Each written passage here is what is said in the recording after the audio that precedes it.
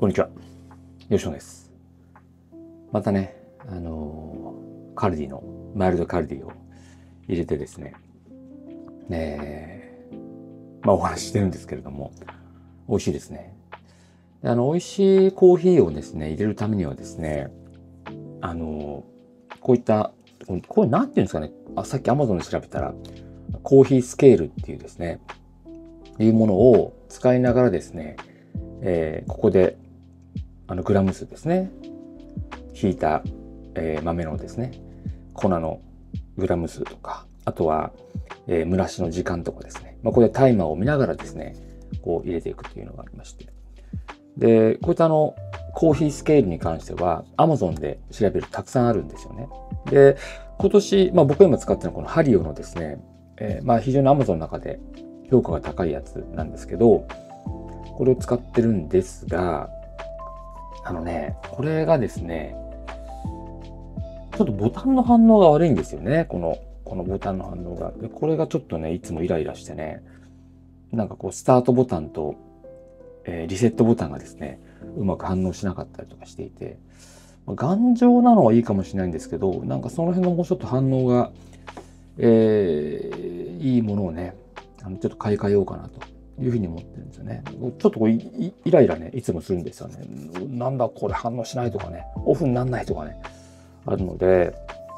うん、まあちょっとこう、僕のこの、あの、個体、これと、僕の独有なのかもしれませんけど、ハズレを引いたのかもしれないんですが、えー、ちょっとね、これはね、買い替えようかなというふうに思ってます。はい。で、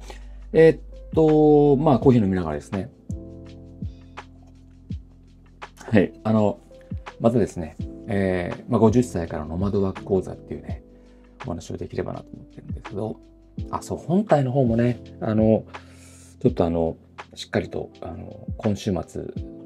動画を撮る予定なんですけど、ついついあの、セカンドキャリアの、セカンドチャンネルのですね、こっちをちょっと撮りがちなんですが、えー、あ、そう、本題に入る前に、まあ、このセカンドチャンネルの、あの、まあ、Mac 関連のね、Mac mini 関連のあの動画を、えー、まあ、数、な、何、1週間前とか2週間前とか、えー、購入者からあげたらですね、まあ、そこにこう、同じくその Mac, Mac mini に、あの、興味持ってる方が、まあ、見ていただいてですね。で、そこからまあ僕のこの顧問の学校のあの活動のことをしていただいてですね、えー、まあ昨日ね、あの、個別の、えー、相談キャリアを、まあ、90分ぐらいですかね、2時間ぐらいかな、結構楽しくお話しさせていただいたんですけど、あの、1対1でね、非常にあのご縁があったなって思ってるんですけど、はい。なんかなんかこう、マックミニのちょっと雑談だったりするところから、また、なんか新しい出会いみたいなのが生まれるみたいなところで、うん、なんか SNS ってね、すごいなぁなんていうふうにちょっと思ったりとかしていて、うん、SNS とかって、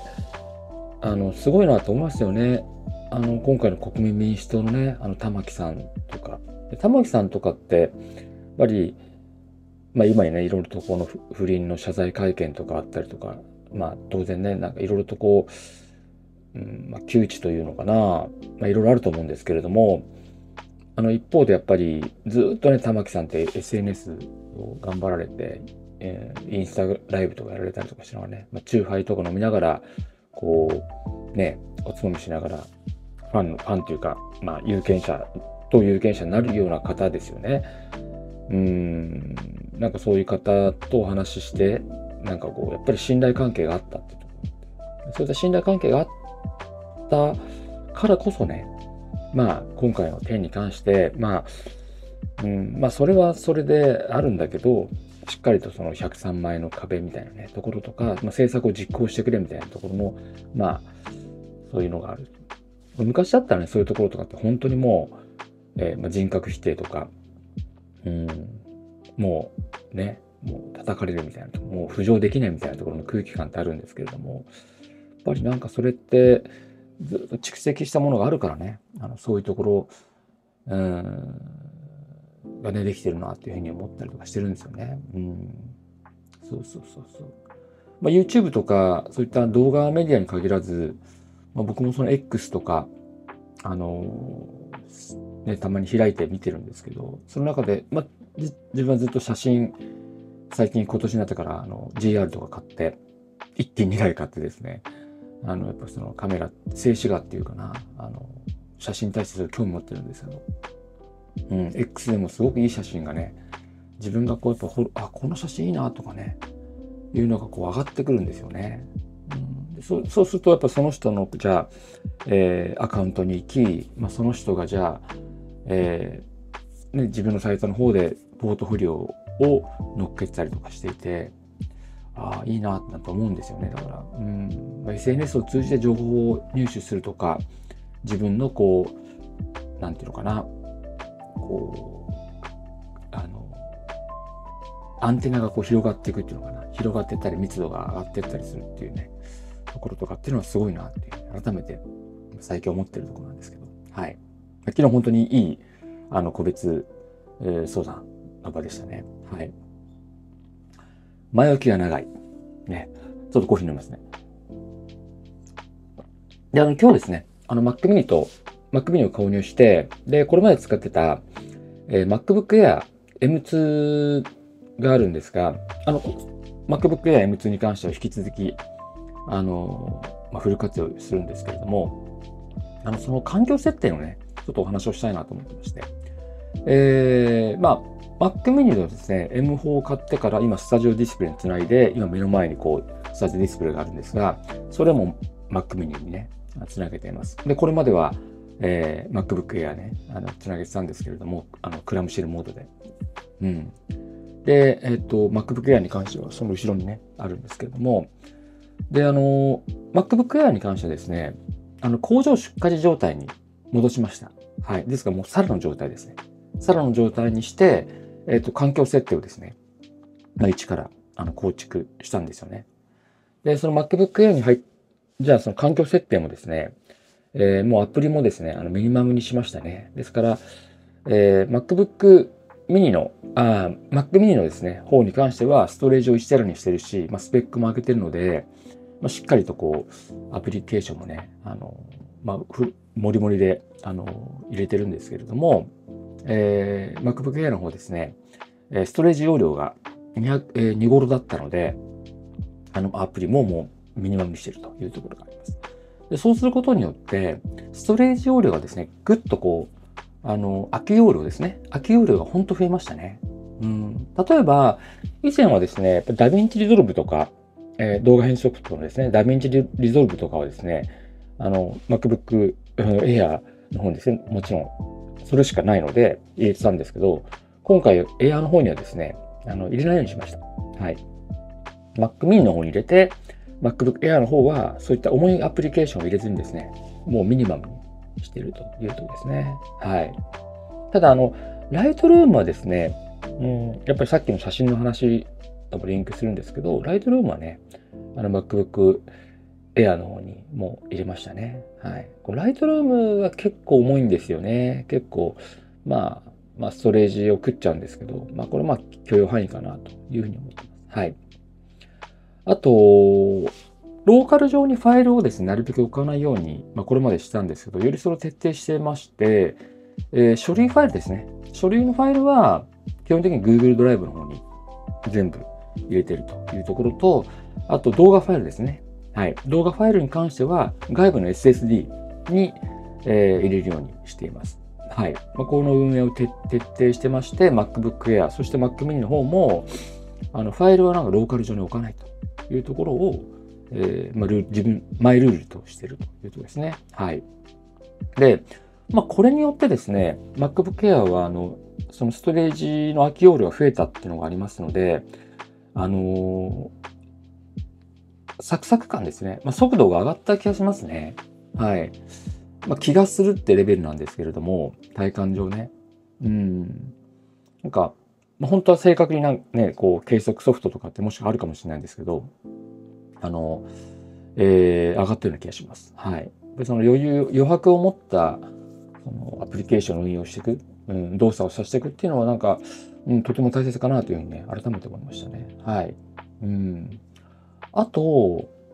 そう、なので、もう MacBook Air ですね。MacBook Air、えーまあ、僕15インチの M2 なんですけれども、まあ、それはもう本当に、えー、都内のね、あの外出時だったりとか、まあ、出張時だったりとかですね。あとは、まあ、今、こう、仕事部屋なんですけど、それ、リビングでのね、あの仕事とかにも使うみたいな形で、えー、やってるというところですね。はい。うん。で、あとですね、あの、ちょっとこれ、まあ、環境設定なのかな。まあ、ちょっとあの、気づきもあったんですけど、最後に。えー、今ですね、この僕は、この動画をですね、えー、Osmo Pocket 3で撮ってるんですね。あちなみに Osmo Pocket 3をですね、めちゃくちゃいいです。はい。はい。ぜひ、Osmo Action 5持ってるんですけど、えー、どっちを買いますかってもし、あ、まあでも違うか。まあ使い勝手は違いますね。はい。Osmo Action 5はね、まあ、アクションカメラなので、そう。うん、そうね。うん、使い勝手ますね。まあ、持つのは2台も、2台持った方がいいかもしれませんけど。あの、Ozone Pocket 3結構おすすめでして、この Ozone Pocket 3をですね、ケーブルでつないで、MacBook、うん、みあ、Mac mini にですね、直接つないでるんですよ。ね。で、動画ファイル、動画編集するときにですね、これまでは、えー、動画ファイルをですね、一回その、あの、ローカルですね、ローカルにこう移動させて、そっからこう編集をしてたんですね。うん、してたんです。まあ僕の編集なんてね、何かこうテロップ入れることなく、ちょっと動画、あの音楽入れるぐらいだし、あの、まあカット、カットと動画、音楽ファイル入れるぐらいなんですけども、えー、まあその編集ソフトを起動するにあたってですね、一回ローカルファイルに入れてやってたんですけど、えっ、ー、と、ローカルに入れることなく、つまり、Osmo Pocket 3に入ってる動画を直接、えー、編集ソフトの中に入れて、それであの編集するようにしてたんです。して、するようにしました。で以前は、えっと、MacBook Air の時にはね、あの当然ローカルに入れないとその動画編集ソフトが重かったんですけど、あの Mac mini に変えてからですね、ローカルに移動させることなく、あの移動、編集ができるようになったんですよね。で、これは多分なんだかですけど、えー、まあ、スペックゆえのなのか、うん、なのかなっていう気がしてまして、それはね、すごく、あの、Mac mini M4 をね、あの買ってよかったなというふうに思う思ってる一つのあの大きな実は理由だなというふうに思いなってるんですよね。はい。うん。そうそうそうそう。うん、ちょっとしたことなんですけどね。まあ、ローカルに落とす、落とせばサクサク編集できるんだけれども、その一手間がね、結構、あの、めんどくさかったりとか時間かかったりするんですよね。うん。でもそれもそういう、その手間をなくしてるので、よかったなというふうに思ったりしてます。はい。うん。はい。うん、ちょっとコーヒーをね、最後飲みますけど。うん。はい。そういうような形で、